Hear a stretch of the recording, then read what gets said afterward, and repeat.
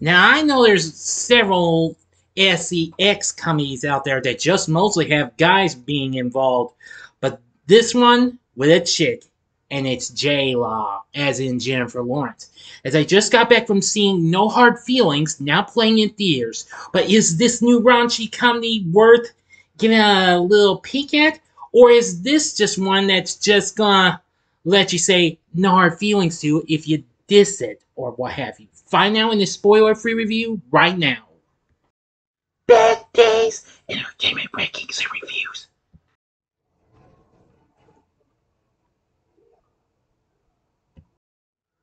So, greetings, my fellow YouTubers, and welcome to Big D's Entertainment Rankings and Reviews. My name is Dual, better known to as the Big D, and this time around I bring to you a spoiler-free review of the just now released sex comedy No Hard Feelings, released by Columbia, directed by Gene Stupnitsky from a screenplay he co-wrote with John Phillips, starring Jennifer Lawrence, who also produces, as a down-on-her-luck woman, or should I say young woman, who answers a listing to date an introverted 19-year-old, played by Andrew Barth Feldman, in order to get him out of his shell prior to college. This also has Laura Benanti, Natalie Morales, and Matthew Broderick. Now, our main character is Maddie, a 32-year-old woman working as an Uber driver and bartender at Mon- in Montauk, New York. She's facing bankruptcy after her car is repossessed, trying to pay property taxes on a home she inherited from her mother. And desperate to avoid this, she accepted an unusual Craigslist posting in which her new employers, a pair of hel- helicopter parents, asked to date their 19 year old son Percy in exchange for a Buick Regal. Well, Percy's had no experiences with girls, drinking, parties, or sex, and his parents hope to boost his confidence before he attends Princeton University in the fall. Well, I gotta say, uh, this was really something. Now, I'm not going to give you the rest of the story, that just the wee bit of the fir- first start. But that's it, no more. So, anyway, I'm going to say, from what I've seen of the film, I gotta say, this is one hell of a raunchy comedy, especially with a chick in the lead role I have ever seen. Believe me, I never thought I would expect to like this, but this time J Law just took the cake in this. Now, while the film's got mixed reviews, it's still at, it's at a, re, a decent 68% on Rotten Tomatoes. They say this raunchy comedy often plays it disappointingly safe, but J Law's comedic and dramatic chops ensure that the end result prompts this film. I agree, uh, but nevertheless, I felt like it was very funny.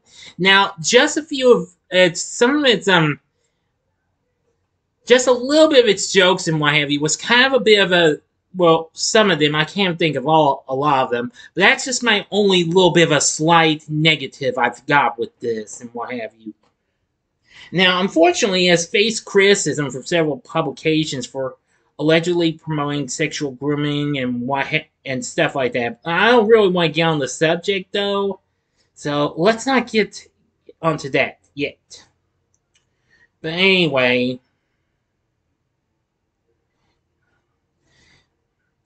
Now, I will say that I thought the story was pretty good. After seeing this, this this kind of made me feel like it was Risky Business and The Girl Next Door all over again. Those two I have yet to review. I will be planning to review Risky Business since this year is going to be its and this year is its anniversary, you know. Now, now Gene Stupnitsky, who was recently a director for well, some of the seasons of The Office on NBC. He did a pretty good job with his direction. Music by Mychael Danna and Jessica Rose Weiss wasn't too bad. We got a few good tunes to hear in this. But anyway, now our cast and what have you. Jennifer Lawrence, I have to say, she was just so wow as Maddie. I feel I must warn you though, there is this one scene that takes place on the beach at night. But I'm not going to give that to you. Mm-mm, no, I'm keeping that hush hush. I just gonna say out for yourself, okay? And if you already know about it, congratulations. But anyway, this is probably the wow most maturest of role I've seen Miss Lawrence play to date. I mean, I know she's been in some other films that have a little bit of an R-rated type feel to, or something like that. You know, like um, American Hustle, and well, I haven't seen all of it. I I know she was in Silver Linings Playbook. Yeah. So anyway, she's absolutely really good as Maddie. Now, as for Andrew Barth Feldman, he plays Percy, and I will say he's pretty good as well.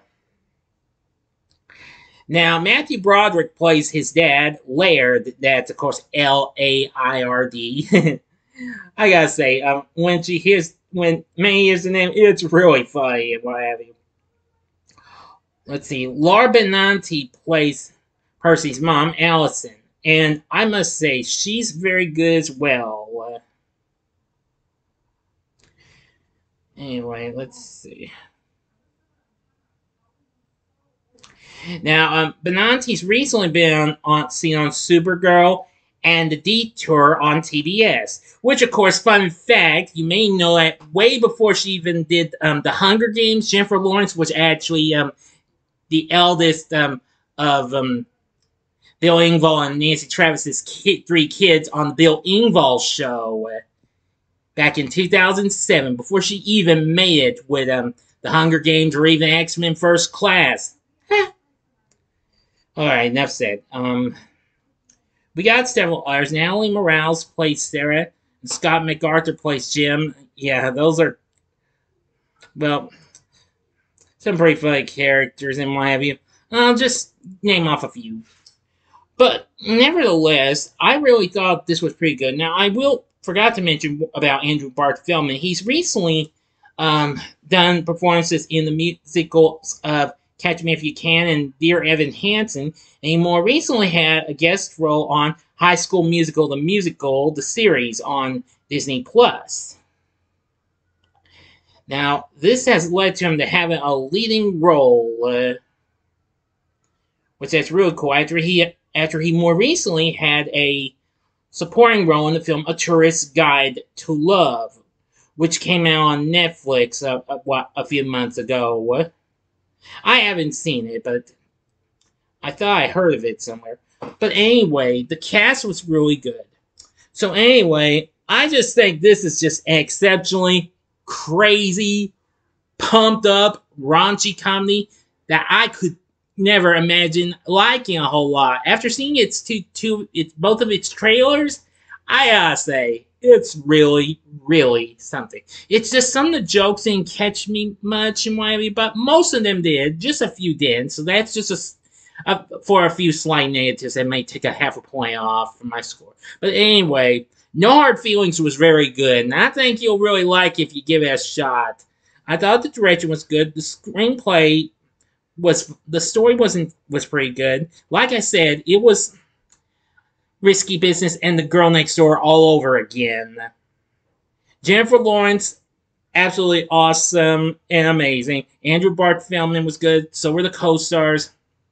Enough said. You gotta go see No Hard Feelings. It's definitely a very, very fun film where pretty meets awkward. For my score, I'm gonna give No Hard Feelings four and a half stars. On a scale of 1 to 10, I'm to give it a 9.5. So what did you think of No Hard Feelings? Let me know in the comments section below. If you like this video, consider clicking the like button, subscribe, and be a part of the Big D Nation. Join me next time when I bring to you a review of Dr. Dolittle from 1998 with Eddie Murphy. So, if you like this, consider checking out my reviews for these other sex-type comedies. In the upper left-hand corner is my review of the 80s classic Porky's. The upper right-hand corner is my review of the late 90s classic American Pie. Or if you'd like, go to the bottom left-hand corner and see its more recent spin-off film, American Pie Presents Girls Rules. And the bottom right hand corner is the button you can click to subscribe. If you like rankings and reviews on movies, TV, music, video games, etc., then I'm your guy. Thanks for watching. Until next time, I'm the Big D saying, see ya.